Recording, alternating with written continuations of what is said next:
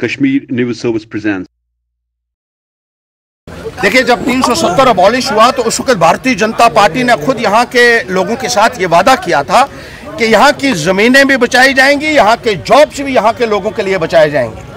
लेकिन देखने में ये आया है कि ना तो जॉब्स यहाँ के बच पाए, क्योंकि ऐसा डोमिसाइल का कानून लाया जिसके तहत बाहर के लोग भी यहाँ जो है वो जॉब्स हासिल कर सकते हैं।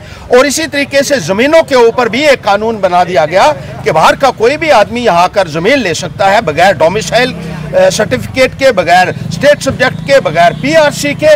और यहाँ की जो बिगर लैंड्स हैं, जो थोड़ी बहुत ज़मीनें थी लोगों की, वो भी उनसे जो है वो छिन जाएँगी।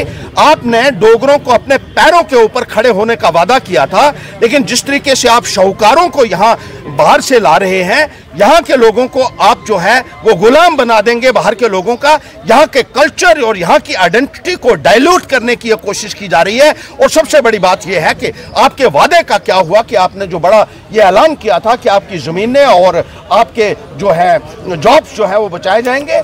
अगर ये ये अच्छा कानून है, जैसे भारतीय जनता पार्टी कहती है तो हिमाचल में क्यों आपने ये प्रतिबंध लगाया कि बाहर के लोग आकर वहाँ ज़मीन नहीं ले सकते? फिर आपने तीन आर्टिकल क्यों रखा हुआ है जिसके तहत स्पेशल कंसेशन जो है वो नॉर्थ ईस्ट को दी है और हर और और, और महाराष्ट्र और गुजरात का कुछ हिस्सा भी है जिस आर्टिकल 371 के तहत जिसको स्पेशल जो है कंसेशन दी गई हैं।